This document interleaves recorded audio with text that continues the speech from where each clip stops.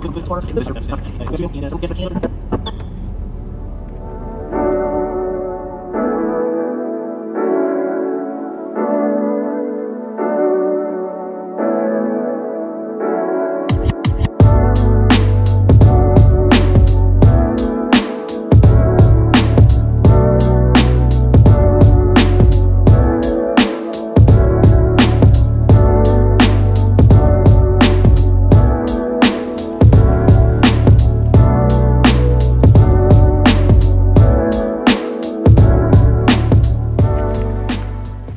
Okay, up here on Mount Hood, uh, Trillium Lake behind me, Mount Hood would be behind me. Uh, gonna do a little lens test today with the uh, Sigma 50 Cine lens. My Canon 1.2 and since I don't own a cheap 50, I've got the 40 Pancake that uh, we're gonna do a little test with it, see which, you know, 120 bucks, four grand and 1300 in that plane, that area there. Um, so we're gonna see what they look like, a little shop and compare, because I'm thinking about buying the Cine lens. Um, so we're gonna see what they look like.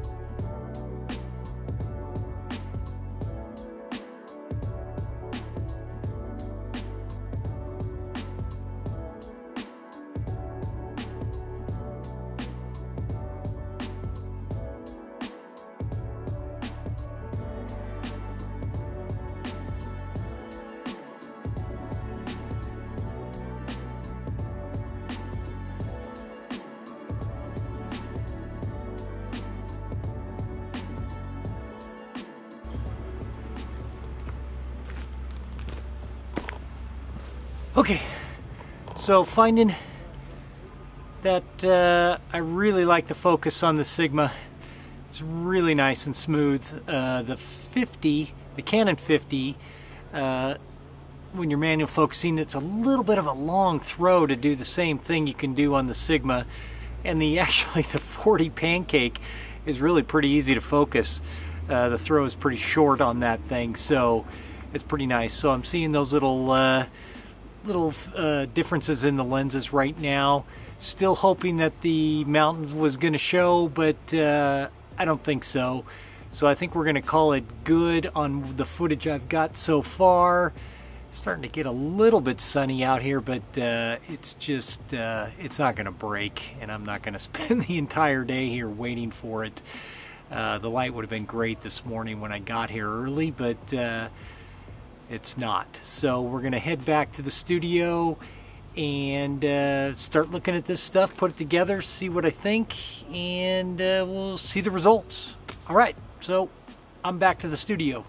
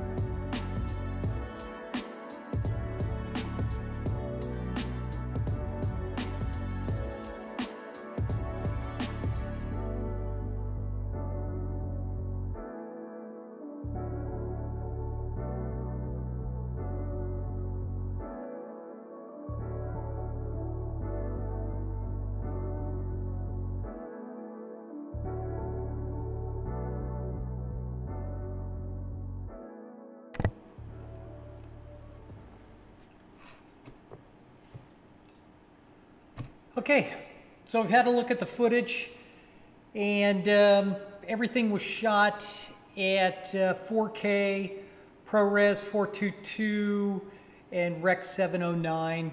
So everything uh, stayed the same each time I changed the lenses. I never changed color or exposure or anything. Oh, only on one shot, I think I was shooting at f2 and the 40 millimeters 2.8. So a little change there but I did see a little bit of difference in color and contrast between the three lenses. Uh, the Sigma color and contrast I really like a lot. And the focus on that is super smooth for when you're racking focus. It's just, I mean, it's really good. I really, really like that. The 50, the Canon 50 millimeter, uh, again, it's kind of a long throw to get that thing to, to rack focus and it um, it seems a little bit flat, not as contrasty, which may be good when you're um, doing some color grading, things like that. Um, again, these weren't color graded at all, just straight out of the camera, and um, so everything's the same for each frame, each uh, each lens.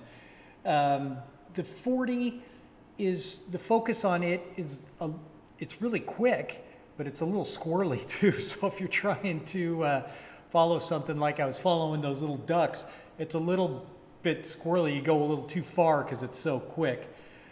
Probably best to just use that one end uh, autofocus when you can. Uh, overall, they all look pretty sharp. The Sigma and the uh, the Cine Sigma and the Canon 50 both I think look really good wide open, and that's primarily where I like to shoot uh, since I'm primarily a lifestyle sports photographer. Uh, I do a little bit of video now, but not a lot. I like to shoot in the wide open, very, very little stop down uh, range. So if the lens performs good in that area, I, am really sold on it. Um, I don't know right now if the difference is big enough for me to spend the 3,400 bucks uh, to buy that lens just to have it. I want it, but I, I can't rationalize it in this COVID era right now where the jobs are just kind of infrequent and uh, and the, my big travel jobs just aren't happening. So uh, I don't want to spend the money right now. Maybe later in the year when uh, I need a write-off or something, I'll go spend the money. And I'd like I'll stick with their primes because I know they're their zooms aren't full frame, don't cover the full frame, their primes do. So I'd probably get a couple primes, uh, the 50 for sure, the 35, and maybe the 20 uh, primes is what I would be after. Again, I really like the focus and the color of their and the contrast of their lenses. So I would do that, but right now I can't I can't make the jump just because I got to watch the watch the budget right now. Uh, everybody, uh, take a look, see what you think. I mean, the difference isn't isn't huge. So, but let me know what you think in the comments below. I'll link to uh, what the costs of these are. The uh, the 40 pancake Canon I think is around I think it's 179. The uh, Canon 50 1.2, which I do love that lens a lot. I think it's around 1300 and then the, the uh, Sigma Cine is about 3500 I do believe, but I'll link all that in there so you can take a look at that. But again, let me know what you think in the comments. If you think one looks better than the other, uh, I don't know, there's not a huge difference that I can see at this moment, but it was a good test for me. I saw what I needed to see, whether I wanted to spend the money on this thing or not. I do, but just not at the moment.